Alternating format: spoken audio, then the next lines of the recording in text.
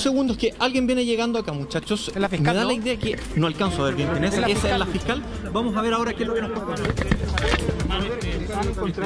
Ya les voy a ver que me den un poco de espacio vital. nos puede se contestar primero.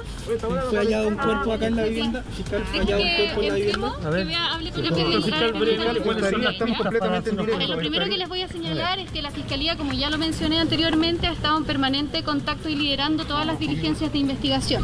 Dentro de esas diligencias de investigación ah, existían varias pistas, varias eh, líneas investigativas, no descartamos ninguna y finalmente hoy día se logró encontrar efectivamente el cuerpo de. Disculpa, la el cuerpo de Ámbar está al interior, el, cuerpo de Ámbar está al interior de esta vivienda, la madre confesó, si nos puede dar ese detalle. ¿Confesaron?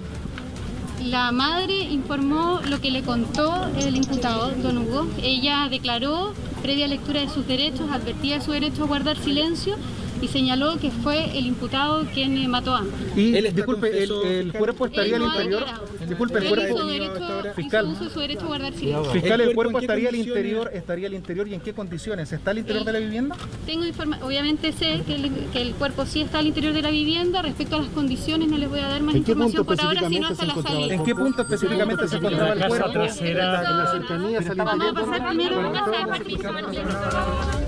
Bueno, ahí escucharon entonces eh, parte importante de la declaración que nos dio la fiscal referente a la detención de la madre y la pareja. La madre es quien habría confesado que quien realizó el crimen es la pareja, es Hugo Bustamante. Eso es lo que, habría, lo que nos acaba de explicar hace pocos instantes la fiscal que ya va hacia el sitio del suceso, va a ver eh, cuál es la situación y ya entregó algunos antecedentes de que el cuerpo de Ámbar fue encontrado al interior de la vivienda Toti. Qué rabia, qué impotencia, qué macabro todo, ¿no? Porque además, si uno empieza a, unir eh, lo- los hilos, Lucho, lo que tú mismo nos cuentas, la madre sabía probablemente, ella se enteró y eh, defendió a Hugo, a Hugo Bustamante. Siempre Ámbar tuvo temor de esta pareja. Él, por supuesto, por el prontuario policial que tenía, era de temer. Era llamado el psicópata del tambor, Lucho. Y después se les ve en un camping. O sea, ella lo defiende porque se va con él. No lo cuestiona cuando él asesina a su propia hija. Tito, hay, Toti, perdón, hay un, eh, hay un tema que no, no lo podemos dejar de lado ¿ah? y lo conversamos nosotros en el matinal ayer, referente a cuando Hugo Bustamante es entrevistado, cuando Hugo Bustamante ha entregado declaraciones posterior a que fue dejado en libertad. Hay un tema que no es menor. Nos contó Maritza a- ayer que cuando ellos ingresaron con un grupo de vecinos a la casa, él les dice, si yo tuviera un cuerpo acá, estaría hediondo, dice él. Y eso es asociable directamente con el crimen que él cometió y por el cual él fue condenado. Hablé hace algunos días eh, con una perito forense, eh, perito psiquiatra forense, y ella lo que me dice es que el subconsciente muchas veces te engaña y que en este caso él nuevamente asoció el tema del olor. Lucho, y hay algo que es importante también porque en algún momento se le pregunta si es que volvería a, matar, ¿no? En una entrevista y él dice, no sé si lo volvería a hacer alguna vez. O sea, no lo dice, no lo niega de forma tajante, deja esa opción abierta, por lo menos siembra la duda, que es gravitante también para que Ámbar deje la casa, ¿no? Luca. Absolutamente.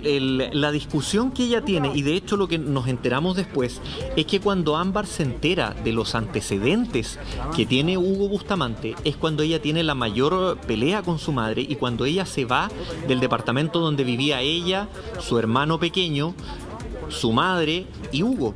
Entonces eh, ella claramente sentía que algo podía pasar, que algo podía ser complicado.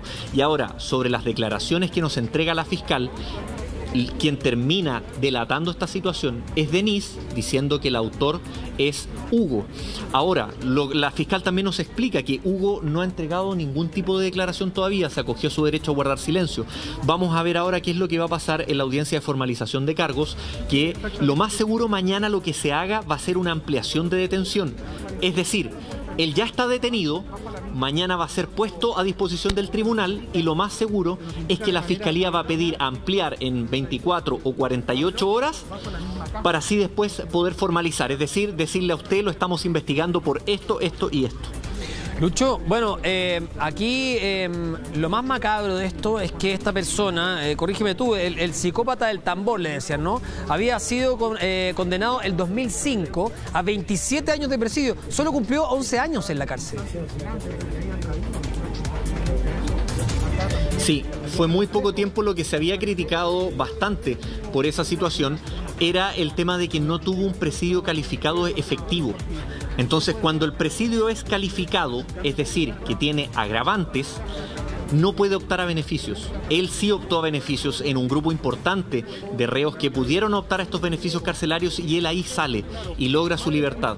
Eh, si mal no recuerdo es el año 2016, si es que ustedes me pueden corregir si es que está bien, pero finalmente termina estando cuatro años afuera luego de ocurre esta situación. Hablo de cuatro años afuera porque él nuevamente ya está detenido, va a ser formalizado. Tenemos claro que todavía no hay un tema de condena, hay que ser muy claros en esto, está en una, en una etapa inicial de la investigación, él es un imputado y posterior a ello es que se va a iniciar todo lo que va a ser la audiencia de formalización de cargos y después el juicio. Pero fue la misma fiscal eh, María José Bowen, Lucho, la que dice que eh, la madre de Ámbar, que es eh, Denise Llanos, fue la que eh, finalmente le cuenta a la Policía de Investigaciones lo que él le habría dicho. Se refiere a Hugo Bustamante y que él habría sido o habría confesado este asesinato. Ahora, hay que ver si actuaron como cómplices o ella se enteró cuando él le contó, que también es otra duda que tenemos hasta el momento.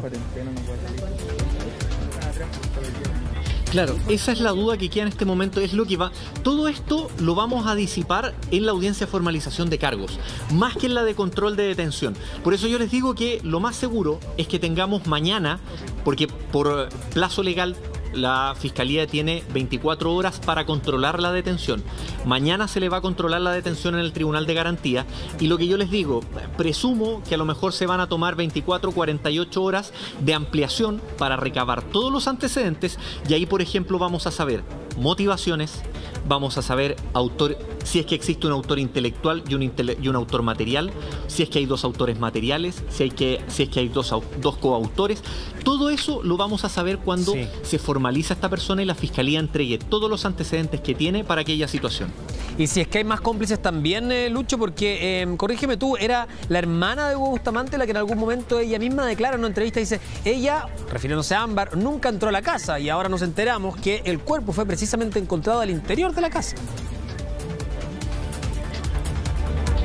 Claro, es que por eso te digo, Toti, todavía la información es, eh, es muy poca la que tenemos, eh, solamente tenemos estas pequeñas confirmaciones.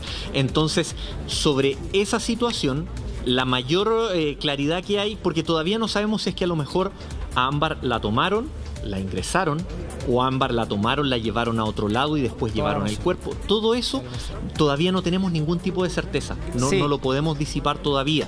Entonces, cuando tengamos esa certeza, es cuando vamos a tener mayor claridad de qué fue lo que ocurrió y si es que eventualmente, lo hablo en esa, de esa forma, existen también eh, cómplices. Si es que alguien ayudó en esto, si es que alguien sabía. Entonces, todo eso es lo que se está. El ministerio. Ahora, eh, la labor es del Ministerio Público comenzar a buscar todas estas pruebas. Y la hipótesis del cuerpo trasladado hacia el interior de la casa también cobra fuerza, Lucho, porque te acuerdas que había un testigo clave que la había visto, había visto a Ámbar llorando en la calle cerca de un lomo.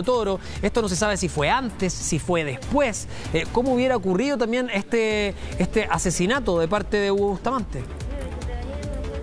Son muchas más preguntas que respuestas. A ver, claro. si lo llevamos al tema cronológico, al tema cronológico, Toti, Ya. a ver, lo decíamos el otro día, que teníamos las horas. Es decir, 9, 8.50 aproximadamente del día miércoles, Ámbar sale desde la casa de su tía. 8.55, 9 aproximadamente, ella se encuentra con el testigo clave que conversó con nosotros hoy día en la mañana, muy temprano. Él se la encuentra cuando ella va caminando hacia la casa de su madre. Ahí es cuando él se la encuentra, antes de que Ámbar vea a su madre. Entonces ahí él se la encuentra y después de eso Ámbar llega hasta la casa de su madre. Por eso la investigación policial lo que decía era que tenían la georreferenciación de el último lugar donde ella había estado y eso, según la declaración de la mamá, es afuera de la casa que ella compartía con Hugo Bustamante. Claro, ahora que ella dice... ¿Qué pasó después? Eso es lo que todavía no hay mayor